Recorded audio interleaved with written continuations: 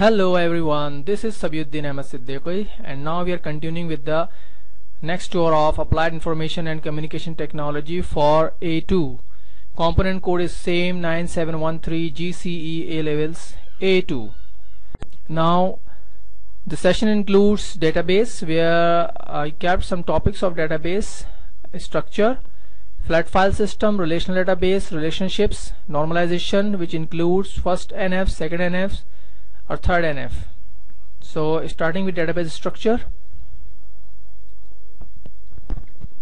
Now first of all you can see and we need to know about what the data and we are working and we are handling the data so we must know about what the data is and where does it come from. So data is derived from the Latin word datum which is singular and data is plural. So you must be well aware of data which are raw facts and figures gathered from various sources and presentable and inactive. They are scattered. That means you cannot get information. You cannot infer any structure about this thing that this is an information or if the data is written or let's suppose things are scattered somewhere. So this is the example of the data. That different fields and items are uh, anywhere but you have to collect that data and you have to structurize the data and then the, that, that becomes the information. Now moving on to what is information. Basically if you would like to understand what is the what is the meaning of information so information is an organized collection of data where you can see the expression such as information equals to data plus structure so if you keep this information in your mind you can see that yes information can be formed while giving the structure to the data because data itself has no meanings. It is a scattered form. So when you put a structure and put the items in the structures or field structures so you will see that this becomes the information and it will give you the meaning too. Now moving on to the database structure the first thing which is known as database. Now we say that database. What is data and base database means a collection of related files. File basically is a collection of related records and a record is a collection of related fields and a field is a collection of related characters. And you know that characters uh, itself a collection of related bytes. And if you talk about the byte a byte is a collection of 8 bits and if you talk about the bits is a binary digit that is 0 or 1 so this is the structure of database where you can go from top to bottom or bottom to top. So basically we go from bottom to top. So bit byte characters fields record file and database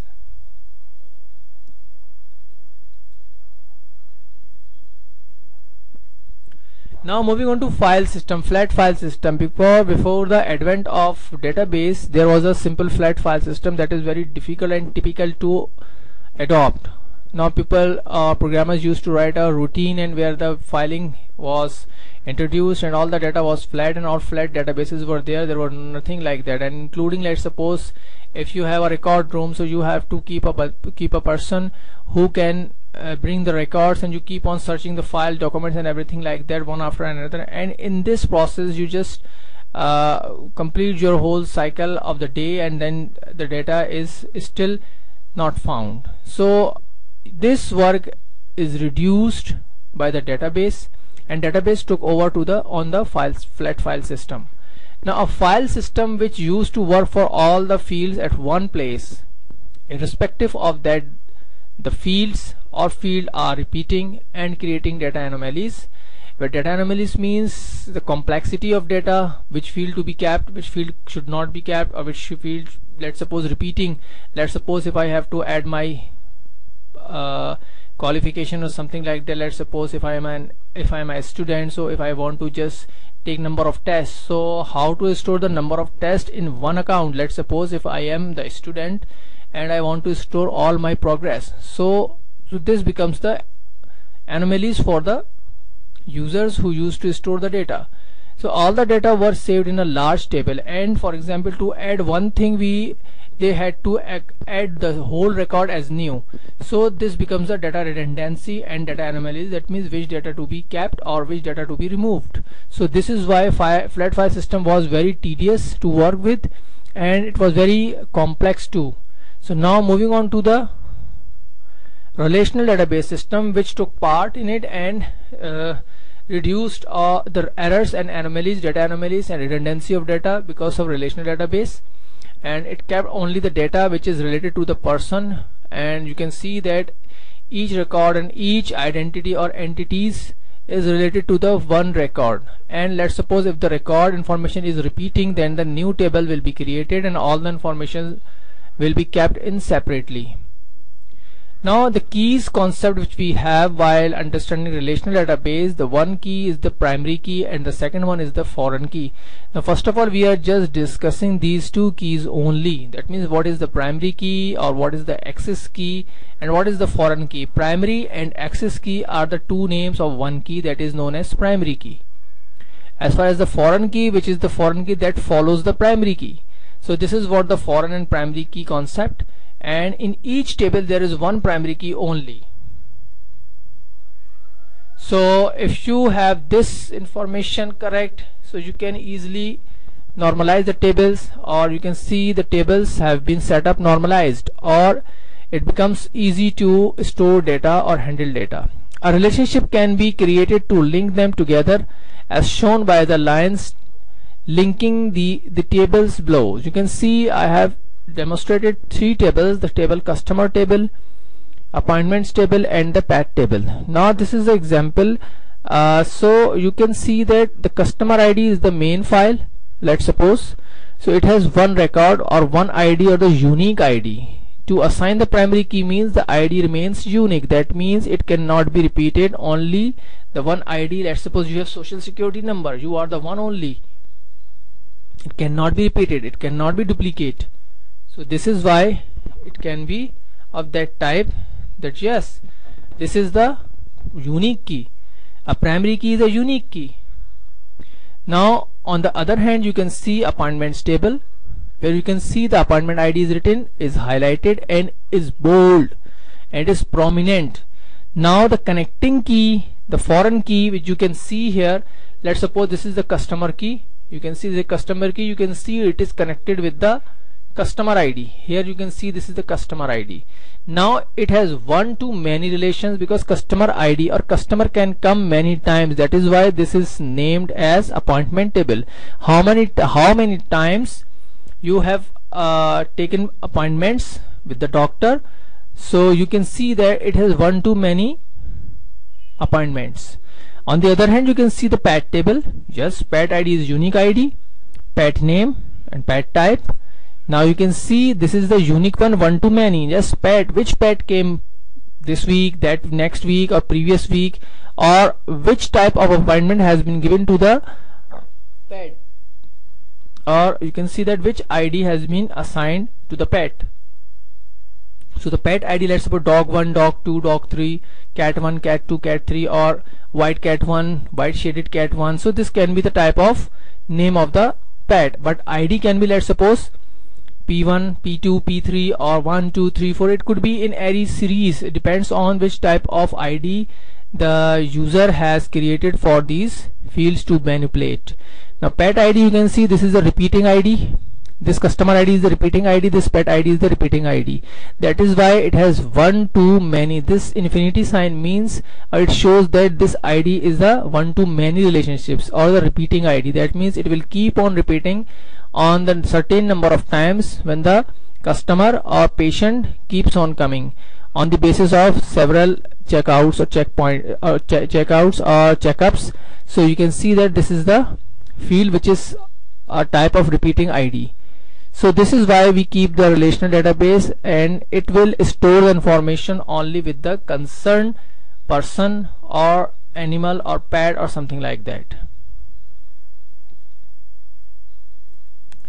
now you can see the relationship. We have uh, basically uh, such some types of relationships. That is one to one that is the first role basically husband and wife one pen and a user. One to many relation that is one book lots of pages one to many and one teacher lots of students. Then many to many when comes on comes on to the many many to many relationship that means many teachers have many students or many books have many publishers or many books have many pages so this could be in these terms or categories. So basically this is these are the relationships types. Now the next one is the normalization. This is very important part of the database creation and development. Now first of all you are seeing that first NF first normal form. Then second NF is known as second normal form the third NF that means the third normal form. Now we will take a look of each one by one. Now see the first NF first normal form. Now what does it do? Basically it validates the table. For the valid table separate the repeating groups. That means which I have just explained you let let's suppose if you want to add a correction or add, want to add something new to the concerned record. So the new record you have to add for updating the record. So that creates the anomalies. To to, so to re remove anomalies we have should have a valid table and separate repeating groups. That means only one group can repeat. Let's suppose if you want to repeat the qualifications. So qualification will be added. As you can see the pet id so pet id let's suppose how many times the pet will come to examine. So definitely it becomes a patient so patient ID can be repeating, but the patient record only one ID with the with the with the with the repeating ID. That means the repeating table that will hold the information about repeating values. Now cannot be further decomposed. It cannot be the further decomposed. That means the further uh, elaborate. That means it can be gone in further low level. That means let's suppose if there are fields which can be divided up to some extent let's suppose for you have 16 or 20 fields you have divided one table in let's suppose 8 fields second table in 4 fields and the third table in 4 fields. That's so you have to decide with the vision of that you have to keep the foreign key and primary key in both tables. And you will be connecting each relationship with the master table unique key yes. Primary key is the unique key. It is underlined. You will always see that it is underlined. It has been identified for each row. Then in the on the four level that you can see that all the attributes are functionally dependent on all or part of the key. So you can see the tables. I'm going to explain it now. Now you can see that we have order table and we have order details table. Now you can see the order number is underlined with the key. Here you can see the picture of the key now and you can see the order detail which with, with, with the two keys. One is the order number and one is the product number. So product number is the primary key of this table and the order number which is the linking key and the repeating value of the order key which is stored in order details.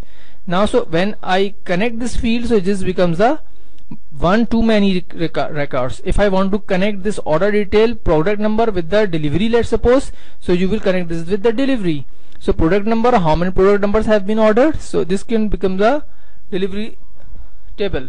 So how many deliveries you have made for which address or which product number? So that can be done separately. So this is the first NF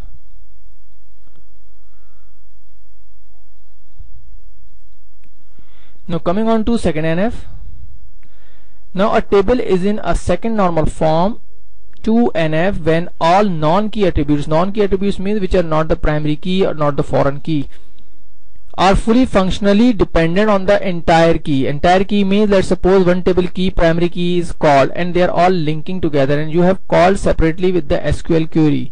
So this makes the table retrieve data in fr from all tables connected each other. Now you can see order table then you can see order details and you can see the product. Now you can see that there are different fields available. Order number you can see the orders reference. You can find easily in order details. Now you can see this order number is connected with order order number. Now this is one this is many right? Because orders can be placed many orders. And you can see find the product number. Is there any product number? Yes. This is the primary is one to one only only one product right? So this becomes the order key.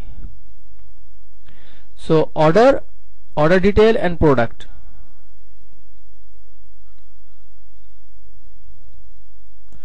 Now third NF so you can see that you need to ensure that no non key no non key that means attribute depends on another non key attribute. The first name last name passport number address region postcode and country attributes all depend on a customer number attribute. Is there any customer number? Yes. Customer number is there. Order. Customer number? Order. Yes this is the customer number.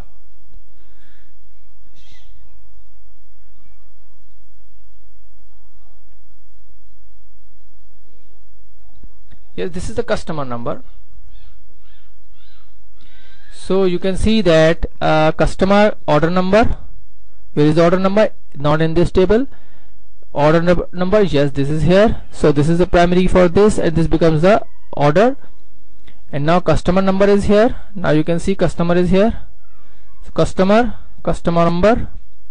And you can see that the third form you have finally uh, solved the problem in third form. Not on the order number. You can see that attribute. Now I'm again reading this. You need to ensure that no non-key attribute depends on another non-key attribute. The first name the last name passport number address region postcode and country attributes all depend on the customer number. They all depend on customer number right? If the customer number is there that means all the information contained in different tables. Let's suppose customer order details and product so if you type in customer number all the linked information will be populated in a way you want it. Then not on the order number. They are not based on order number. That means if you type in order number nothing will populate the data no order number is uh, set to bring all the information. Now you are ensuring that an entity holds only the information related to it. You can see that you are ensuring that an entity holds only the information related to it. Only the thing which you are requiring that will be populated. Otherwise it won't retrieve it won't uh, send the data to the display unit. This table finally be in third NF you can see this is the third NF one primary key second primary key third fourth fifth. Now you can see these are two four, four keys but one has one to one relationship and one has one to many relationships. So this becomes when you combine that relationship and when you test it this will pro produce the result according to first NF second NF and third NF and hence the third NF is the stage where your all requirement all uh, decomposition of the tables are almost done or you can say the 90% work is done till third NF so I hope you will like this. Thanks for watching